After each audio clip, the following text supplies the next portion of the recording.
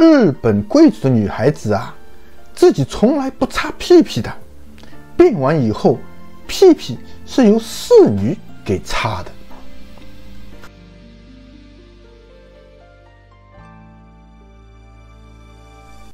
一骑鸿雁入宁乡，云雨巫山再断肠。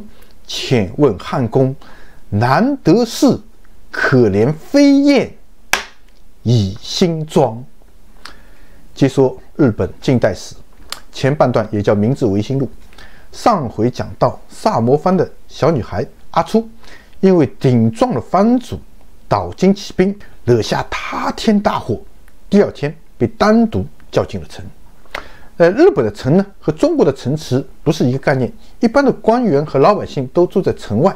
日本的城池呢，接近于欧洲的城堡，不像中国的城池这个规模这么大。呃，讲那个点，就相当于中国的这个紫禁城这个规模，是大明，也就是藩主办公和私人的生活。其他的官员和老百姓呢，都住在这个城外。阿初被传令单人进城后，来到大厅等候藩主。过了不久，岛津骑兵来了，屏退周围所有人，只留阿初一人在厅内。你叫阿初吧，抬起头来，有罪在身，不敢抬头。不必拘谨，赦你无罪。哎，赦我无罪，那我不用死了吗？阿初抱着必死的决心啊，可谓是刹那间两世为人。谁说要你死了？小丫头自己闯了祸，还胡思乱想，哎，就这么一句话啊，所有的罪都被免了。多谢藩主宽恕。今天找你来是有别的事。大久保立事，我派人调查了，的确是一个忠义之事。我已传令让他官复原职，马上他就能和家人团圆了。我这样的处理，你满意吧？小女子不知深浅。没大没小，多谢藩主宽宏海量。昨天你说和大久保不沾亲不带故，那你又是怎么认识他的呢？我是听小松带刀说的。小松经常说大久保世代忠良什么什么的，我看他非常为难，就想帮帮他，所以昨天才斗胆冲撞了藩主。这么说，你和小松带刀很熟吗？棋子很熟啊，我们从小一起读书，有空时啊还经常下棋。他的这个棋啊可臭了，让他三子都赢不了我。阿初呢兴致勃勃地说着说着，不禁露出了少女活泼可爱的笑脸。从小一起读书，萨摩藩的学堂是禁止女子进入的。你是在哪里读的书？我，我，我。阿初知道说漏了嘴，支支吾吾不敢往下说。恕你无罪，只管说来。就是清游学堂，我穿着弟弟的衣服，用弟弟的名义去学堂读书。这事只有小松带刀知道，他一直护着我，不让别人发现我是女孩。所以这次我也想帮帮他。冒充男孩去读书，太不像话了。阿初调皮的吐了吐舌头。岛津骑兵又问：“今年你多大了？”虚度十七年华，比小松带刀小一岁啊！如果是和平年间，你俩倒是天生一对，可惜啊，可惜！阿初不知道岛津骑兵为什么说可惜，这“可惜”里面是什么含义？岛津骑兵走下大堂，来到阿初身边，转了一圈。上下打量，这个小姑娘被看的是毛骨悚然，鸡皮疙瘩都起来了。看了许久，岛津骑兵说：“昨天你说天下兴亡，匹夫有责，这可是出自你的真心。”启禀大人，小女子怎么想就是怎么说的，年幼无知，顶撞了大人，还请恕罪。如果我想让你去办一件事，这件事不仅关系到萨摩的兴亡，乃至整个日本的兴亡，你可愿意？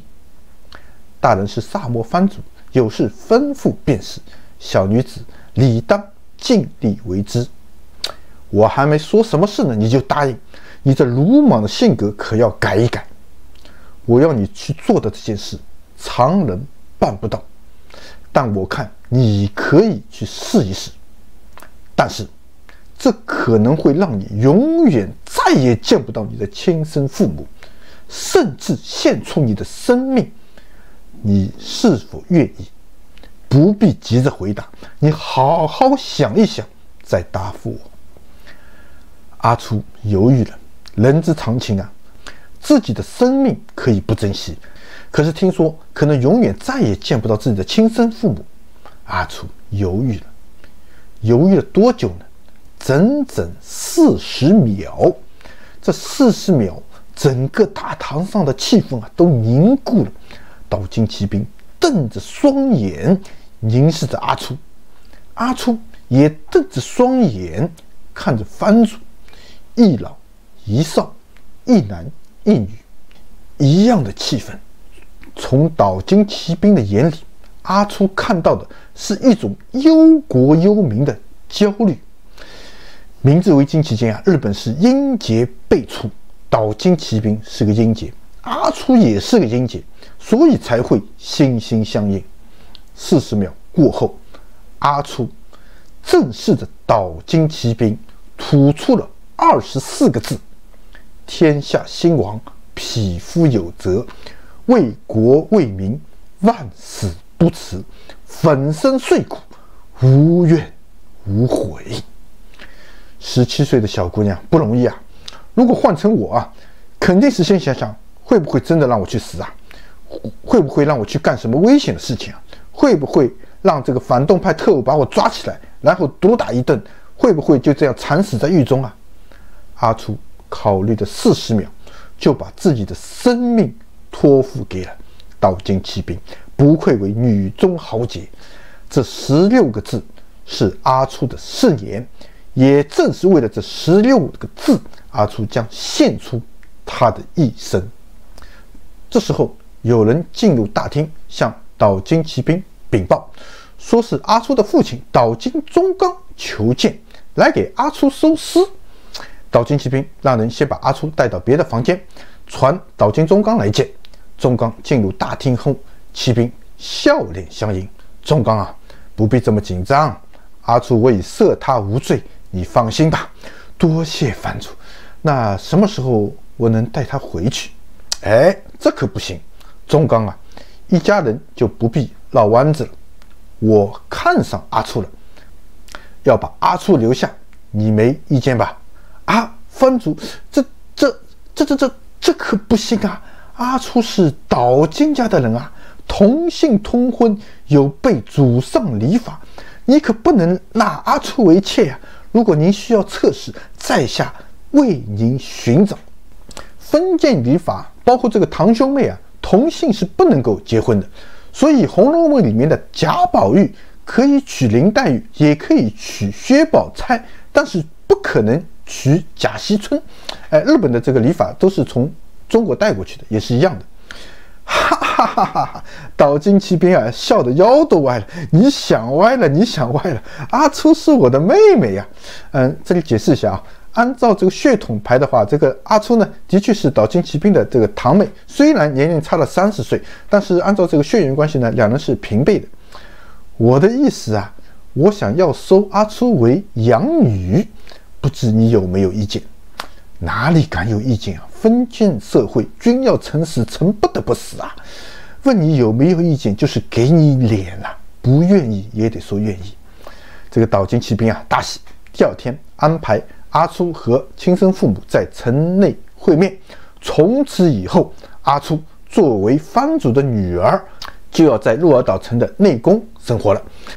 这次会面说是和亲生父母的永别，倒也不至于，但是今后要和父母见面，是难上加难。就这样，岛津骑兵收了阿初为养女，赐名独子。岛津独子就是他的正式名字。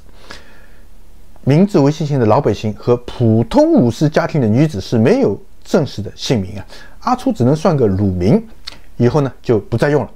成为岛津骑兵的养女后，在地位上就是藩主的女儿，将来要和其他的大名或者是他的子嗣联姻，所以呢就赐予正式的名字叫做岛津笃子。阿初一夜间更换门庭，从藩内一个武士分家的小女孩摇身一变，变成了萨摩藩的大郡主。人们给他起的一个爱称叫做赌姬。成为萨摩大郡主的赌姬，并没有享受任何荣华富贵，等待他的是严酷的训练。前面讲过，岛津骑兵从京都带回一个老太婆，叫做姬岛，就是作为赌姬专职的教练。说是老太婆呢，其实也就四十来岁。训练什么呢？首先是武艺。作为武士家庭，尤其是一路大名的这个郡主啊。拿不出两手可是不行的，将来嫁到夫家会被人歧视。武士家的女子首先练习的武术是大刀，哎，不是这个男子用的这个武士刀啊，是长柄的这个大砍刀，日语中叫做剃刀。这个字写出来呢，像是字麒麟的字，加上一个草字头，念成 剃，哎，不是这个理发师用的这个剃刀啊，相当于中国的这个长柄大砍刀。这个击倒啊，别看四十多岁了。刀法精奇啊，刷刷刷刷刷，大刀舞起来如同雪片一般。无论是严冬还是酷暑，手把手教习赌鸡的武艺。除了刀法以外，还练习射箭、射击。在学武艺的同时呢，还要学习宫廷礼法。书中暗表，这个赌鸡啊，天生是好动不好静。从小就女扮男装和男孩子打打闹闹，所以练武对赌鸡来说不算什么苦差。但是这个宫廷礼法可要了命了，就像空中翱翔的这个小鸟啊，突然啪一下给你关到这个笼子里边。一旦练完武，换上宫廷的服装，就不能乱走乱动了。走路要走内八字。我们在电视剧里可以看到，穿和服的日本女子啊，扭着这个小屁股、小脚步走路的样子，就是因为这个和服下面这个裙摆啊非常窄，一步只能跨出十厘米。如果像这个母老虎一样一个箭步跨出去啊，你这个裙摆自己就把自己的脚锁住，肯定是摔一个大跟头。所以在宫殿里面穿上这种贵族的服装，不能够大步行走。哪怕是内急去厕所，也只能是一小步一小步的慢慢的挪。还有奇葩的事情啊，日本贵族女子上厕所时，有两个侍女在旁边啊，一直是盯着。刚进城的赌鸡啊，是非常不自在。你出宫的时候，旁边两个人看着，这是什么滋味啊？但是这是宫廷的规矩，日本贵族女子上完厕所以后，自己是从来不擦屁屁的，由侍女用木片。给你刮干净。日本要到这个明治维新以后啊，才使用这个厕所的手纸，当时是用这个木片来刮的。哎，就像这个医院里面这个压舌头的这个木片，叫做侧壁。两个侍女呢，就是干这个活的，所以一直在旁边盯着。哎，你这个变完以后，随叫随到，帮立刻帮你刮。不是我瞎编啊，网上查一查历史文档就是这么记载的。日本贵族女子自己是从来不擦屁屁的。接下来呢，这个基岛还要给赌姬上语文课。什么叫做语文课呢？看过日本历史剧的朋友应该都知道，近代日本贵族在宫殿里面使用的语言和庶民，也就是平民的语言是不一样的，称为是宫殿用语。不会这套东西啊，将来嫁到夫家会被看成是粗野人。另外，这个萨摩地区的方言非常严重，京都和日本的贵族。向来把萨摩人看成是乡巴佬，哎，中国其实也一样。以前记得看过一个电视剧啊，说是一个富家子弟看上一个美女，但是这个美女呢一直都不开口说话，直到新婚之夜进了洞房以后才开口，一张嘴就是我说老公啊，你看咋的模样，长得咋的啦？这个新郎啊。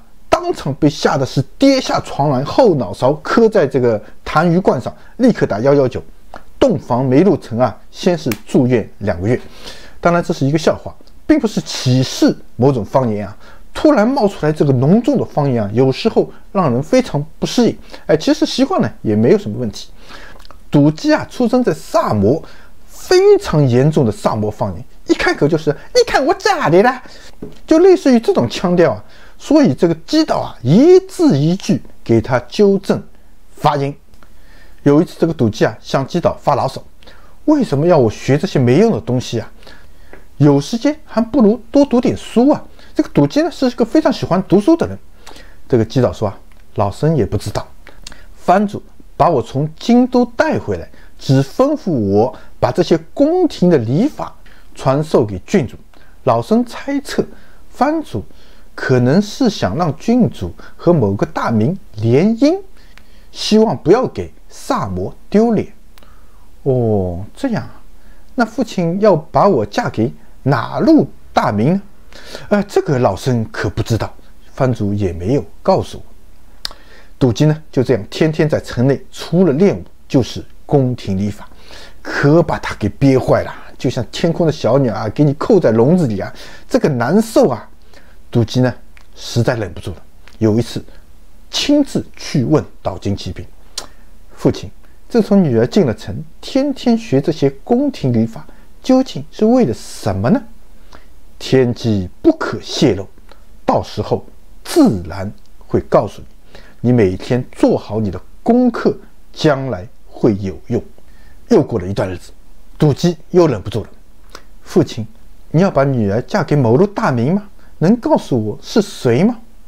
不要瞎猜，我安排的每件事都是有意义的，你要相信为父。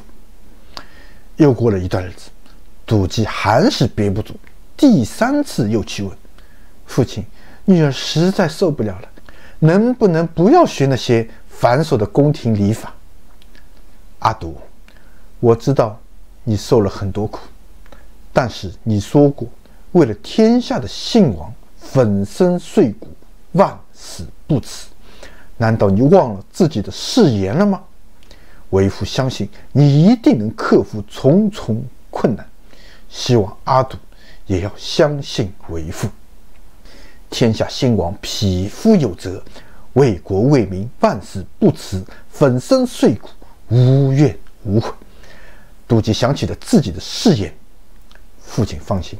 阿杜不会违背誓言，阿杜能坚持下去，不容易啊！一个十七岁的女孩子啊，就为了一个信念，接受这样残酷的磨练。